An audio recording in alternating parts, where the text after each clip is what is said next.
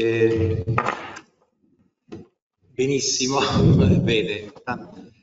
Intanto grazie insomma, di essere qui, molti sono presenti a distanza, eh, insomma, che è un po' il segno dei tempi, no? Eh, bah, io non so quanto tempo ho, mi pare poco, e quindi siccome vado a braccio, sostanzialmente non so, dico alcune cose che mi vengono anche da, dagli interventi precedenti. Eh, innanzitutto l'aspetto che a me mh, mm, fa, fa, davvero insomma, piacere rappresentare è che io personalmente, per quello che può valere, credo fortemente in, queste, in questi strumenti, in questa tecnologia. Io la blockchain la, la considero una, una delle più alte forme di verità, perché noi sappiamo che tutte le verità sono mediate o attraverso so, un giudice o attraverso diciamo un apostolo, chi che sia, no? E secondo me è una delle più alte forme di verità.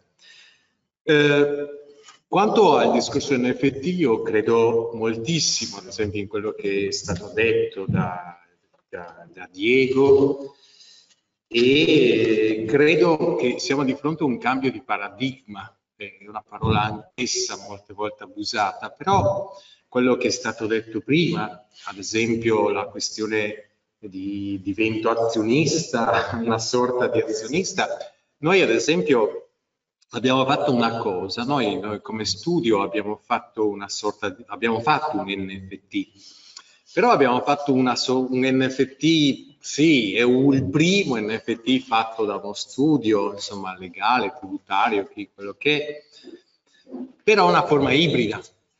Ma perché abbiamo fatto una forma ibrida di, FT, di NFT? È legato sostanzialmente a un magazine, no?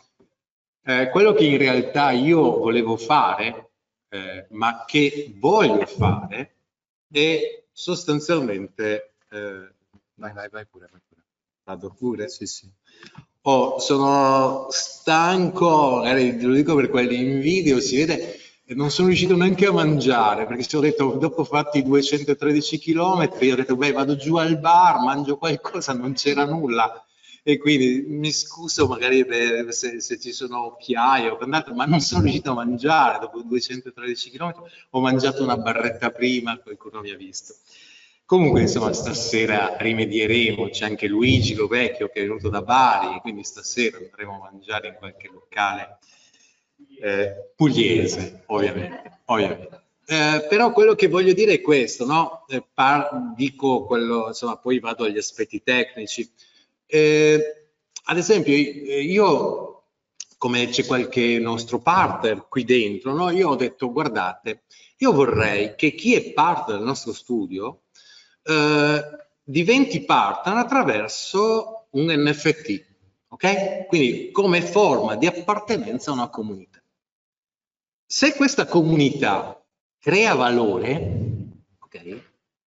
Chiaramente chi aderisce a questa comunità ha un, ha un valore in mano. E se la nostra comunità è una comunità chiusa, non so, poi parleremo unicità, infungibilità, scarsità, tante cose, se la nostra è una comunità chiusa e ad esempio tu entri nella nostra comunità pagando, non so, un valore di 100, se noi creiamo valore come comunità professionale, ci saranno dei colleghi che vorranno entrare nella nostra comunità, perché noi abbiamo creato valore, però entreranno e non pagheranno più 100, perché noi siamo i primi che hanno creato valore.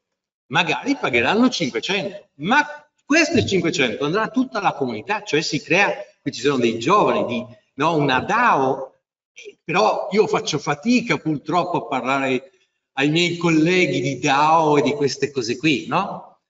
E purtroppo siamo ancorati ancora, non so, all'adempimento, alla fattura elettronica. Guarda, questo io dico da tempo, guardate, piano piano e poi all'improvviso, abbiamo parlato prima di intelligenze artificiali, se continuiamo così, piano piano e poi all'improvviso.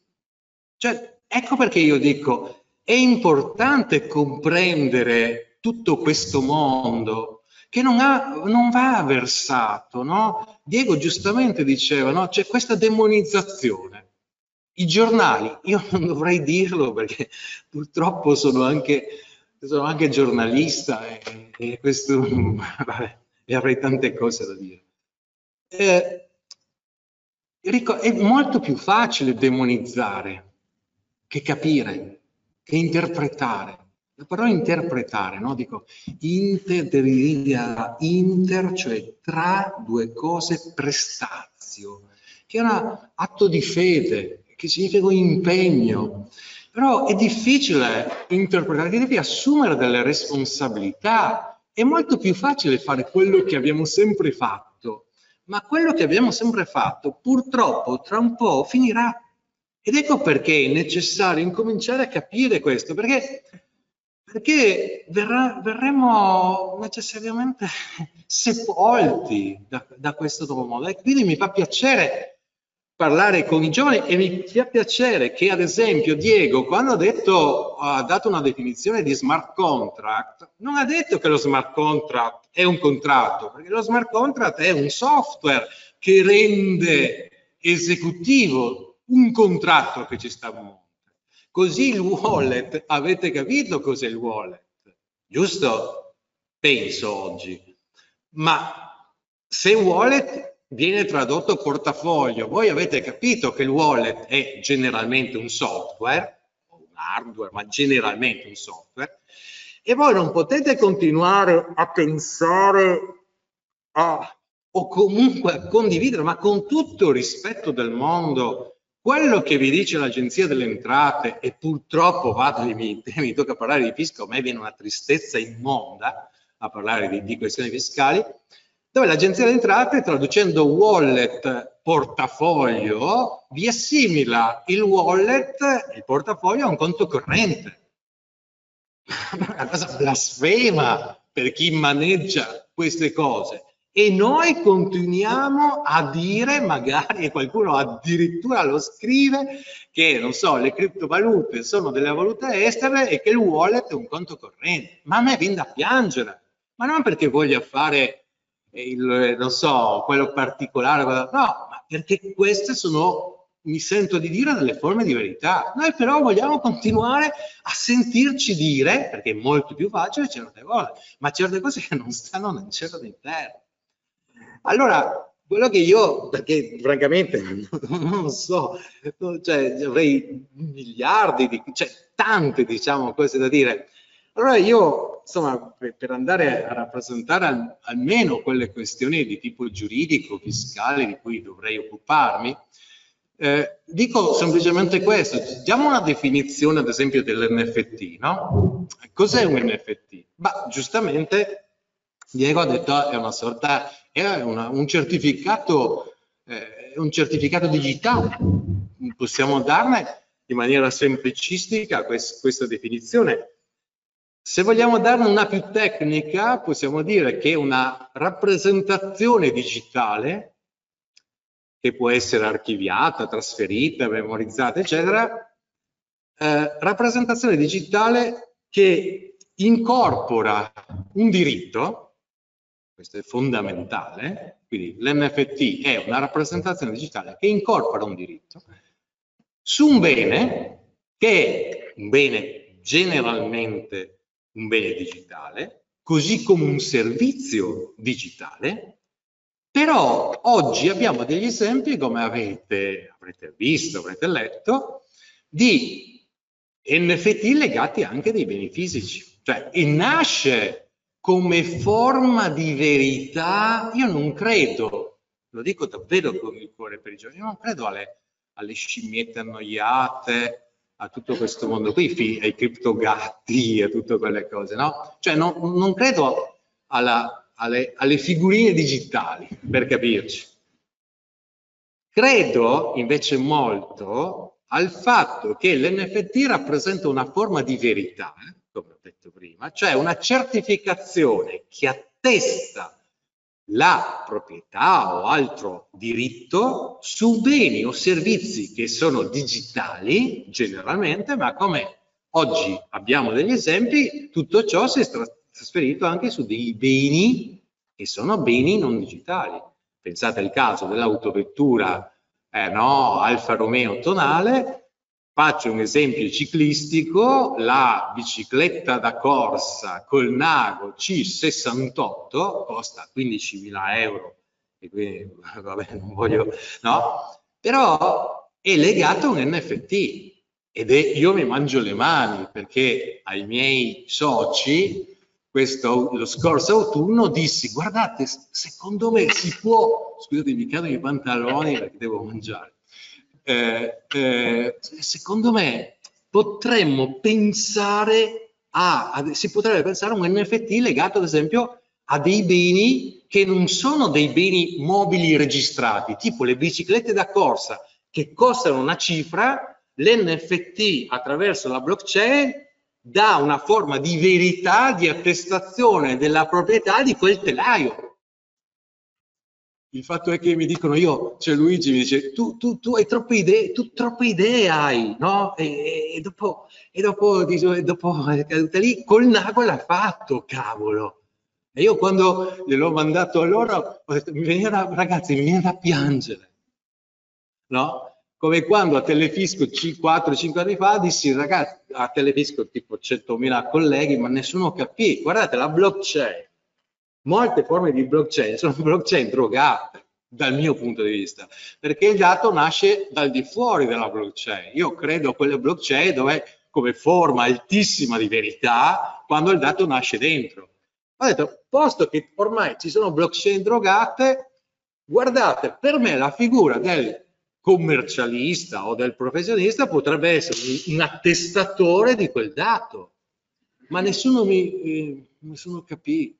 Continuiamo a tenere la testa bassa, a continuare a, a fare gli impiegati dell'Agenzia delle Entrate o altre cose e c'è tutto un mondo, c'è tutto un mondo no, che dovrebbe essere colto. Noi non possiamo continuare a fare un mondo disintermediato noi continuiamo, che va verso la disintermediazione, continuiamo ad essere degli intermediari tra l'azienda e l'amministrazione finanziaria per chi si occupa di fisco. Non diamo valore aggiunto. Il valore aggiunto, ad esempio, può essere studiare questi fenomeni, perché io mi sono portato l'acqua ho detto ma devo anche bere. No, eh, studiare questi fenomeni perché noi possiamo dare, ad esempio, delle, contribuire a diventare consulenti per le aziende di queste cose, lo dico soprattutto ai giovani. E, e io quando vedo che le proposte, ma con tutto il rispetto lo dico, perché io non, non, non ho contro qualcuno, ma che le proposte del Consiglio nazionale nuove è facciamo una nuova rottamazione, a me viene da piangere, ma, ma davvero lo dico, io non ho forme di cattive, chi mi conosce lo sa, non ho un fine ma mi viene da piangere per la categoria. Se noi pensiamo che la soluzione sia la rottamazione, andiamo a casa, ma lo dico con il cuore. Noi dobbiamo investire tempo, che è la più grande ricchezza, studiare, approfondire queste tematiche. Questo, no? E chi parla di queste cose? Eh, cioè, questo, ma io lo dico, cioè, ormai a una certa età, magari anche no, cioè, non lo dico per me, ed è fondamentale, perché questo è un mondo tutto da costruire, è tutto da costruire ed è fantastico dal mio punto di vista. E, e quindi quello che voglio dire, tornando alla definizione, perché dopo spazio e dopo, dopo un problema, dico che guardate, io do una definizione di, di NFT, sostanzialmente è una certificazione digitale che attesta la titolarità di un diritto su un bene digitale, un servizio digitale, ma anche, come avete visto degli esempi adesso, su beni immobili, soprattutto su beni che non saranno registrati ed è una forma di verità. Questo, questo secondo me è fondamentale. È chiaro che tutto questo non è regolato, no? Dicevo che si demonizza, è molto più facile demonizzare. Dice, ma sono delle bolle, eh, sono fenomeni tutti non regolati, ma e allora? E allora dico, qual è la novità? Dice no, mi veniva in mente un passaggio di Lucio Dalla, ma lasciamo stare. purtroppo mi passano 3-4 cose contemporaneamente mentre parlo, questo problema, io eh, non riesco poi a fare, mi vengono tante cose che mi verrebbero da dire, no? Cioè, il, se ci pensiamo, il leasing, no?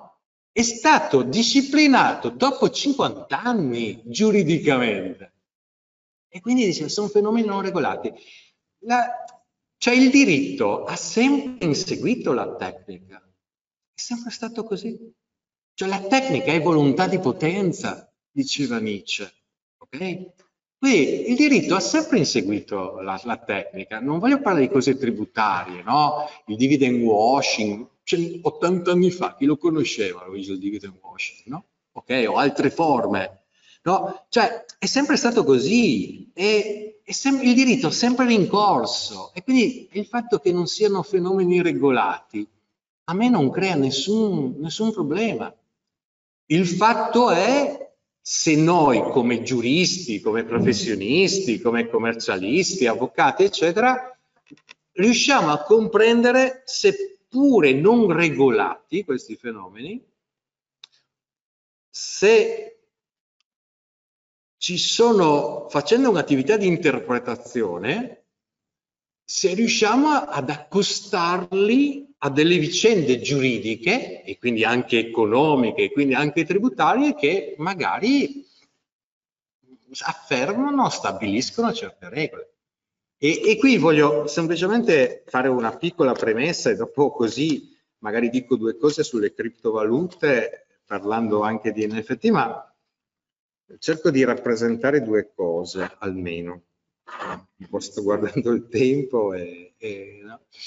Allora, la prima, che è la seguente. Quindi passo purtroppo alle vicende giuridico barra fiscali, no? ma, allecciandomi a quello che ho detto prima. Allora, la prima questione è questa.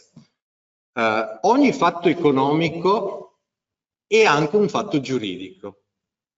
Ok? Quindi partiamo da questo fatto, quando ovviamente quel fatto giuridico risulta essere disciplinato, ma quando il fatto giuridico esiste come fatto giuridico, il fatto economico è una conseguenza di quello giuridico. Ok? Primo aspetto. Secondo aspetto, dal mio punto di vista, so che vengo versato, ma non esiste nell'ordinamento eh, tributario italiano una norma che stabilisca la prevalenza della sostanza sulla forma. Non esiste. Qualcuno me lo deve dire dov'è. So che la Cassazione la pensa diversamente, però la Cassazione no, eh, non vorrei dire delle cose, però poi magari nel PEI due settimane fa abbiamo fatto un convegno, c'erano dei giudici della Cassazione io purtroppo parlavo di cose fiscali così, una giudice, una giudice ha detto beh oggi abbiamo imparato delle cose nuove, ma cosa mi ha fatto anche piacere, quindi vuol dire che no, magari anche, non so, ricordo sull'inerenza, altre cose hanno cambiato, quindi magari un giorno la Cassazione potrà ammettere che non esiste un principio generale come stabilito ex legge di prevalenza della sostanza sulla forma nelle vicende tributarie, ok? Perché non c'è.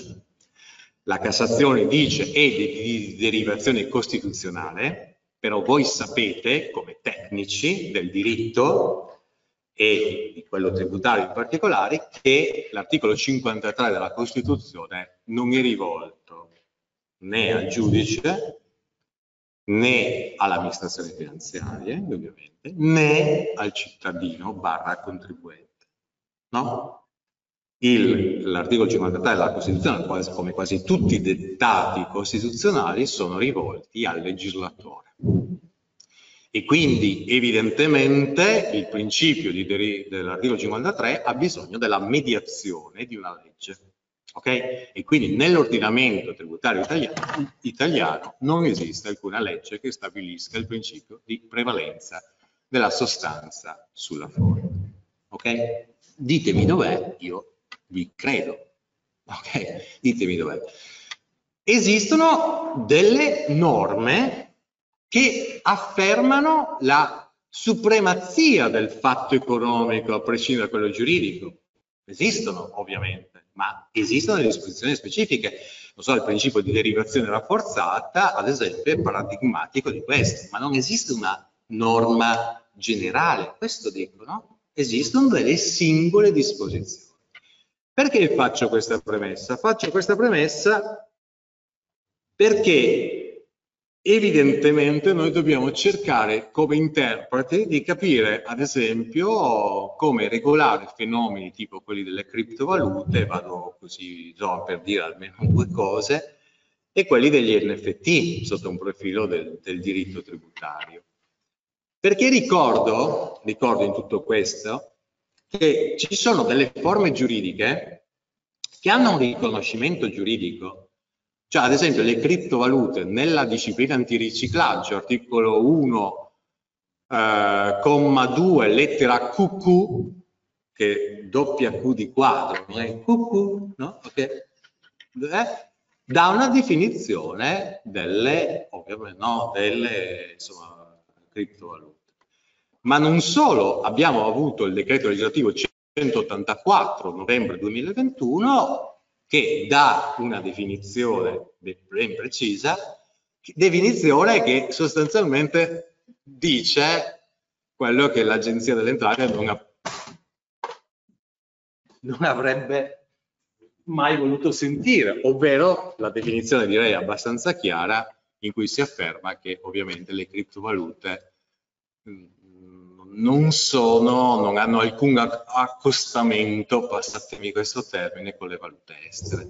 Ok? Quindi cosa succede? Esistono quindi delle eh, forme giuridiche che però non hanno una disciplina fiscale, perché sulle criptovalute, come ad esempio sugli NFT, non c'è una disciplina fiscale specifica.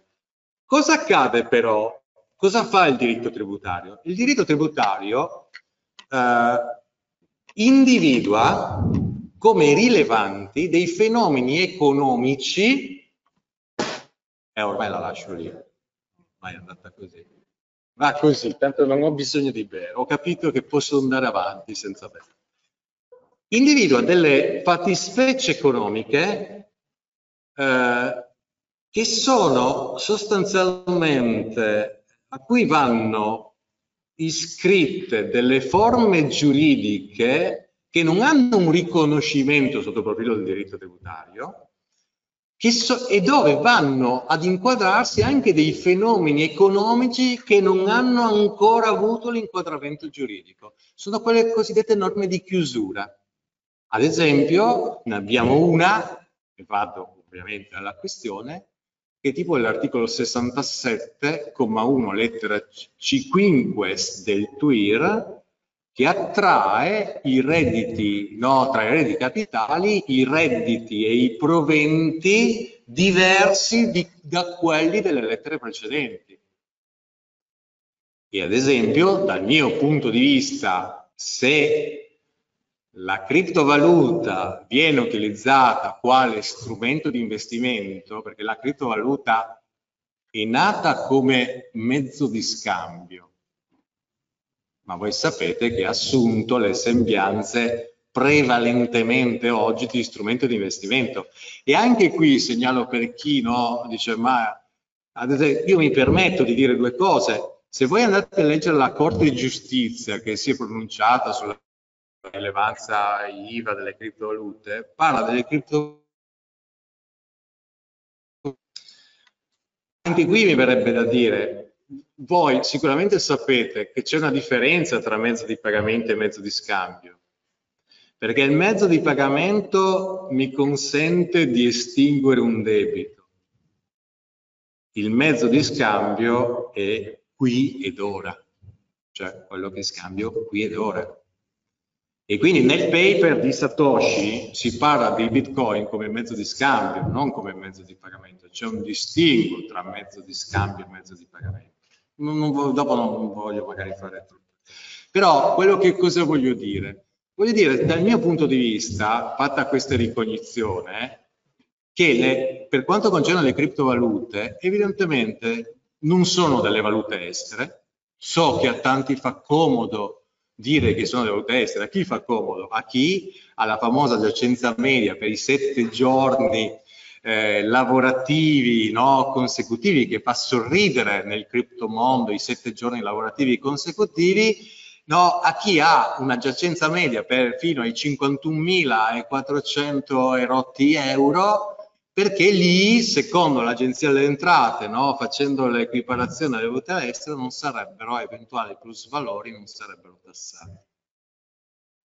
Il problema è quando avete sopra i 51.000 erotti euro, no? che a me viene da ridere, perché nel 67 c'è una norma che vi dice che tutti i prelievi delle valute estere sono operazione fiscalmente rilevante, sono reddito. E chi un conto è o oh, sono andato su Coinbase, ho acquistato Ether, eh, o Bitcoin o quello che è, no? Cardano, quello che è, no? E l'ho tenuto lì e ho fatto niente sostanzialmente. Ma chi movimenta criptovalute sa perfettamente cosa c'è lì dentro e quindi sa perfettamente che se io agisco nel mondo cripto, quindi cripto su cripto, e se voglio utilizzare la norma sulle valute dicendo una valuta estera, ogni prelievo è tassato. Eh, ragazzi, però questo non si dice o non si vuol sentire perché è così. e allora, però questo non piace, no?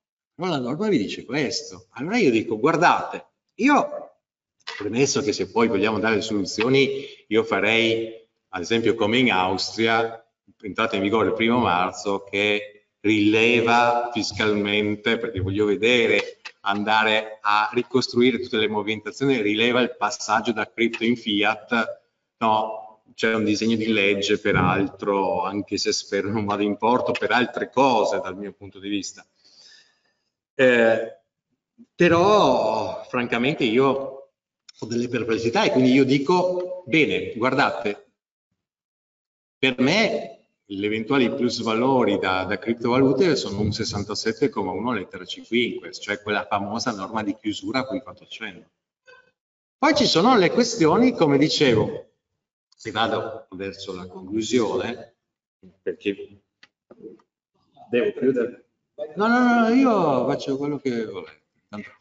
No, anche qui, ma sì, le critiche, no, ma avete fatto questa cosa all'orario, noi siamo abituati al convegno dalle 3, dalle 15, e allora se sei abituato a fare, perché non provi a cambiare?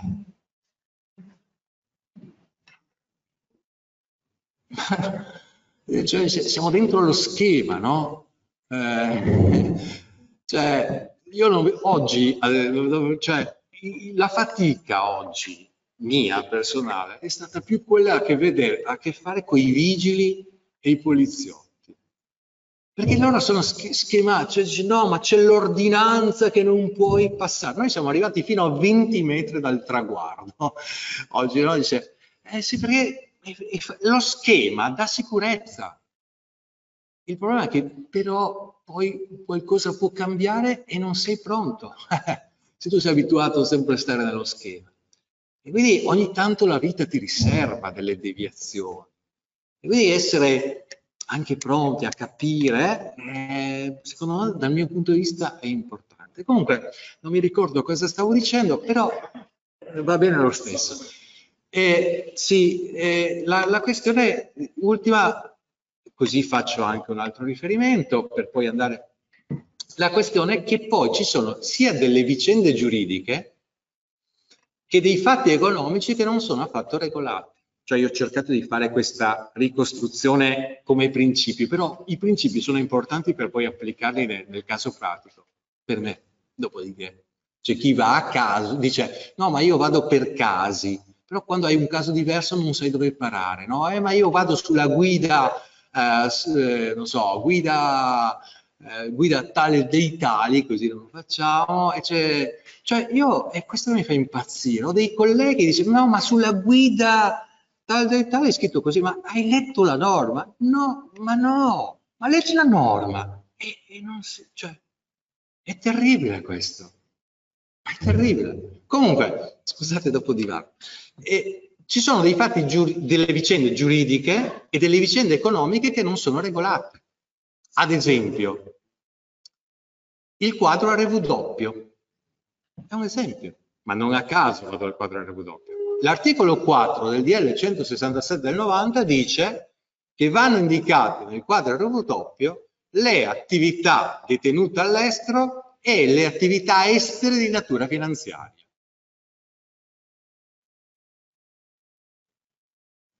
Allora, domanda. Le criptovalute ma anche gli NFT, perché io mi trovo con delle persone, qualcuno che scrive, dice ma eh, gli NFT vanno, vanno dichiarati nel quadro RW perché l'Agenzia delle Entrate, ok, faccio, perché l'Agenzia delle Entrate ha detto che le criptovalute vanno nell'RW e quindi ci vanno anche gli NFT. Allora, anche qui facciamo un piccolo ragionamento, no? A proposito di vicende giuridiche ed economiche che non sono regolate.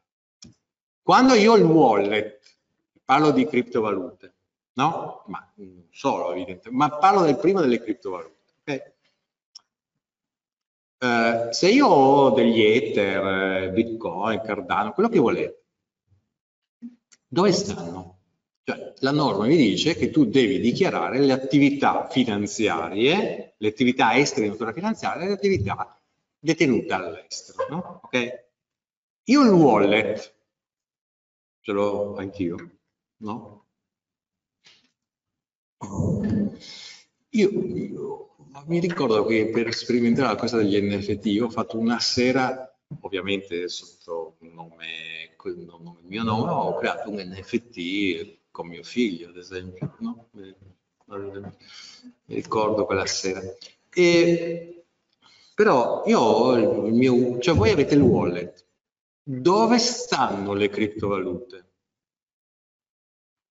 Cerchiamo di fare un piccolo ragionamento. Stanno, penso che non siano, stanno nella blockchain, giusto? La blockchain è estero. E questo è il problema. Stanno all'estero? Perché poi la cosa che io cerco di rappresentare no? è questa, ma se io non compilo il quadro RW, è evidente ciò vale anche per, e vado, dico una parola sugli NFT, poi dico un'ultima parola eh, nel caso in cui io rivenda gli NFT, no, e sono un privato, sono, no, ok, vado lì perché se parlo di imprese, altro, finiamo domani mattina. Ma, e quindi, e dopo chiudo, ma Le sanzioni, no? Nel quadro RW quali sono le sanzioni? La sanzione va dal 3 al 15% no? delle attività non dichiarate di tutto all'estero, se le attività sono detenute nei paesi cosiddetti blacklist, le sanzioni da, vanno dal 6 al 30%. Quindi paesi non blacklist, lista che deve essere assolutamente aggiornata, noi continuiamo con la vecchia lista, se sono sostanzialmente un paese non a fiscalità privilegiata secondo il richiamo del DM che fa l'articolo 5 del DL 167, eh, quindi sono paesi non blacklist 315, sono paesi blacklist 630. Io non le dichiaro. Dove le ho in paese non blacklist o un paese blacklist? Perché io vorrei capire quale sanzione mi viene erogata. Perché le sanzioni sono rapportate alla detenzione in un paese, in un paese estero. Quindi Io no, ma io non è che lo dico perché non voglio che voi dichiariate, cioè non, non mi interessa, voglio solo fare un ragionamento, cioè io dico guardate, qui non c'è una norma che né sotto profilo giuridico né economico stabilisce che le criptovalute devono essere dichiarate nel quadro dopo. Quando ci sarà una norma, quando ho il wallet evidentemente, no? Quando ci sarà una norma, io le dichiarerò, in questo momento non le dichiaro. Ma proprio chiaro, cioè, ma io ho fatto un convegno, c'erano sotto pseudonimo dei, insomma, dirigenti dell'agenzia delle entrate che mi volevano sentire, eccetera, per cui io non ho problemi di dire, io non li dichiaro. Non perché voglio fare, perché la, io mi hanno insegnato che, di, di, di, di, studiare, di, applicare le leggi e io non le dichiaro. Okay? L'NFT, beh, c'è qualche duro che vuole fare il fenomeno, voglio fare no, ma scusate un attimo, se abbiamo capito cos'è l'NFT, cioè è una sorta di certificato digitale su un bene che è generalmente un bene, un servizio digitale, poiché nel quadro W devo dichiarare l'attività detenuta all'estero, allora ditemi, io l'ho scritto anche in maniera provocatoria, che se io detengo un file PDF o di Word, devo dichiarare nel quadro W perché per me è la stessa cosa. Vedete voi. No, poi, però, però, siccome l'agenzia, cioè io le solite cose, ma mi sembra un insulto alle nostre intelligenze. Cioè, questo lo dico, io non, non riesco, ma è come un atto di, cioè, è un insulto. Io dico, potrò dichiarare l'NFT, se ho l'NFT legato ad esempio a un bene fisico che si trova all'estero, allora dichiarerò l'NFT nel quadro RFW. Ultima cosa e poi, e poi chiudo.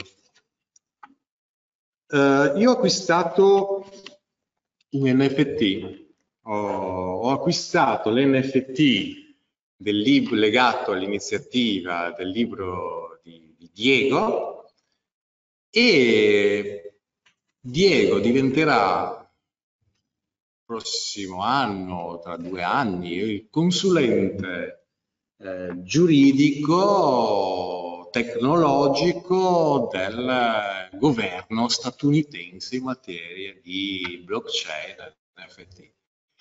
È chiaro che l'NFT, l'NFT di Diego che peraltro me l'ha regalato, me l'ha regalato acquistando il suo libro, no, me l'ha regalato il libro, quindi vabbè, magari regalami anche il tuo NFT.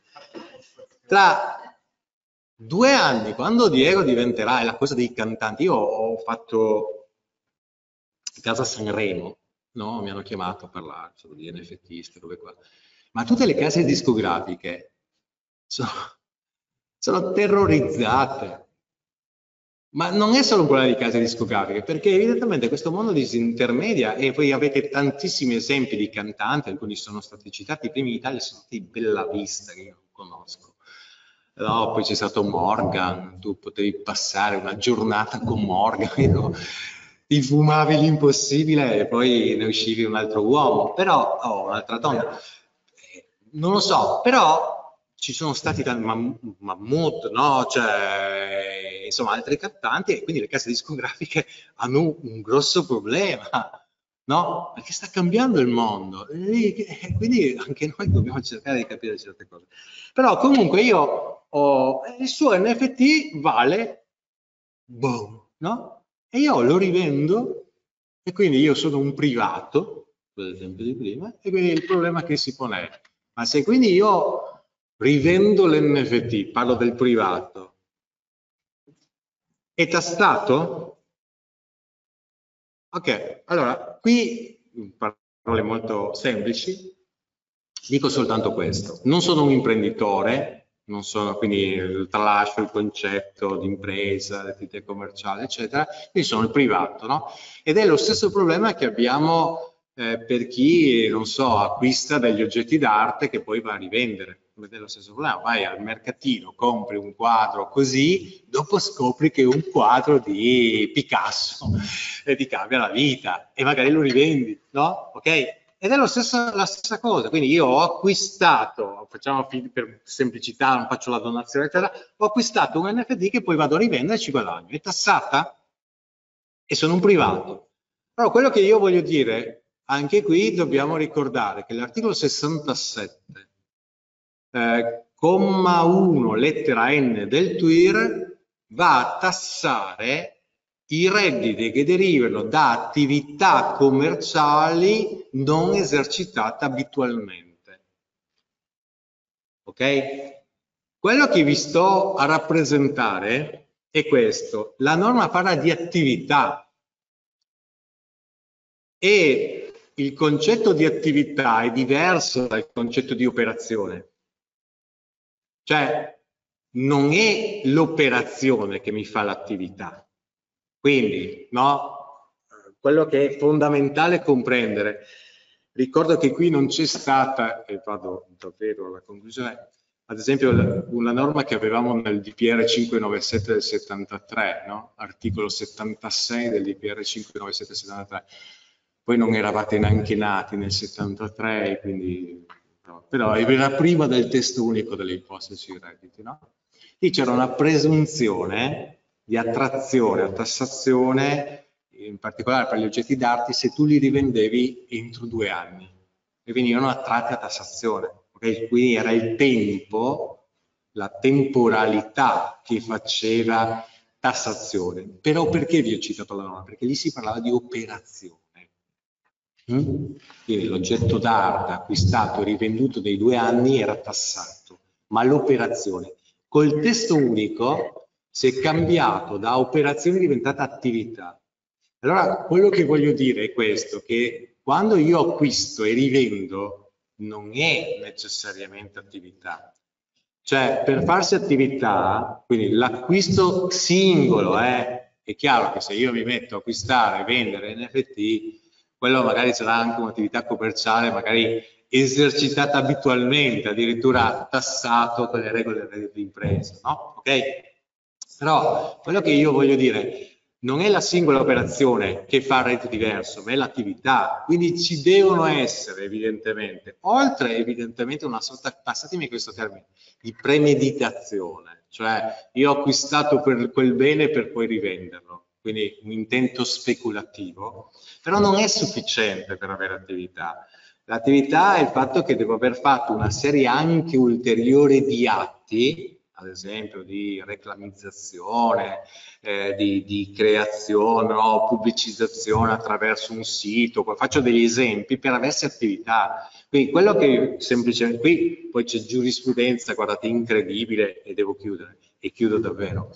Quello che però vi rappresento è il concetto. Prima del testo unico era l'operazione che viene tassata di un arco temporale, biennale.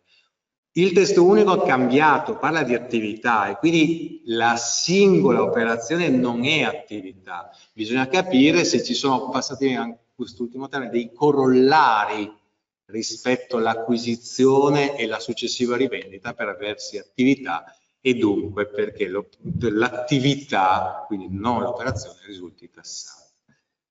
Con questo, non so se ho splafonato, ma come sa Luigi non mi ravvedo. Eh, io sono... Ecco, l'errore è alta, una delle più alte forme di verità. Eh, io sono sostenitore della valenza dell'errore e quindi non mi ravvedo perché è tutta verità, nell'errore sei te stesso. Questo dico, se fai come dicono gli altri, non sei te stesso. Quindi l'errore, come la blockchain, è una delle varie forme. Con questo non voglio tediarvi, io vi ringrazio e se ci sono domande.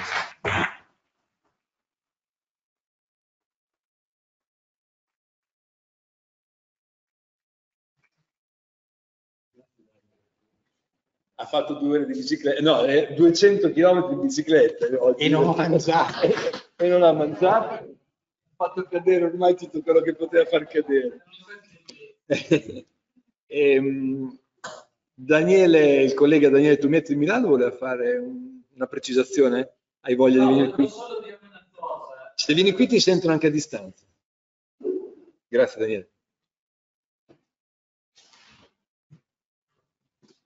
Volevo solo dire una cosa eh, a supporto di quello che aveva detto adesso Dario.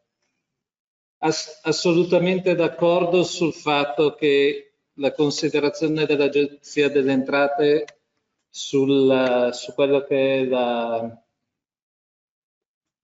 la blockchain è sbagliatissima.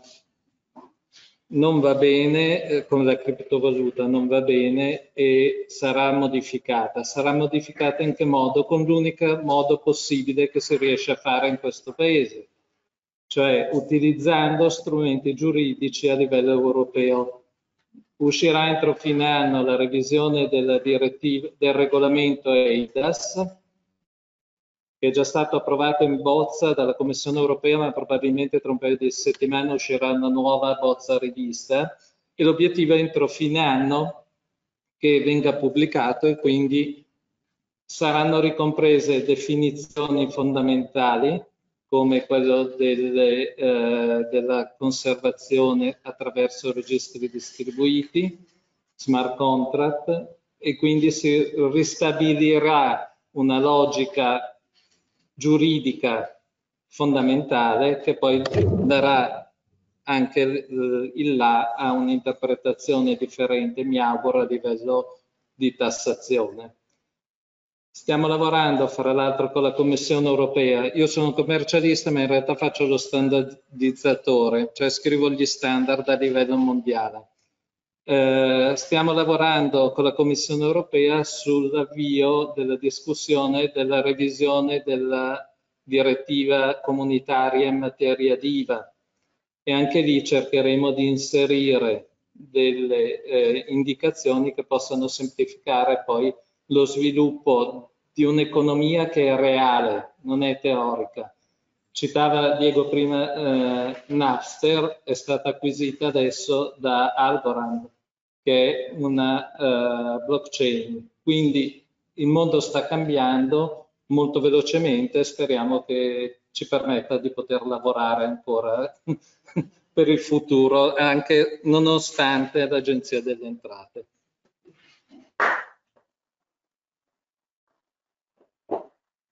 Grazie mille anche a Daniele Tomietto, un collega di, di Milano. Bene, abbiamo concluso questa due giorni. Credo che lo studio De Ottolo Vecchio e Partner che ha organizzato il tutto abbia messo in piedi un, un evento un po' fuori dal normale, come sempre quando c'è Dario di mezzo.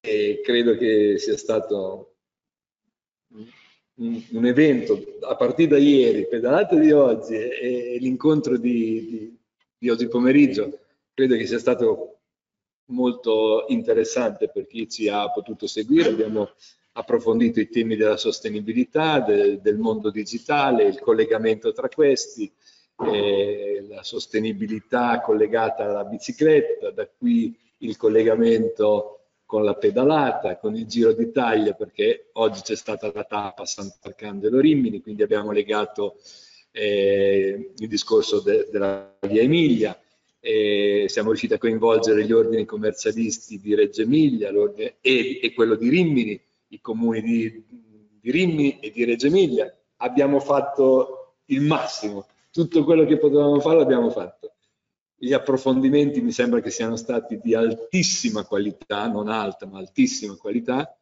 e quindi ringrazio nuovamente tutte le persone che sono intervenute e basta, concludo qui e arrivederci alla prossima occasione.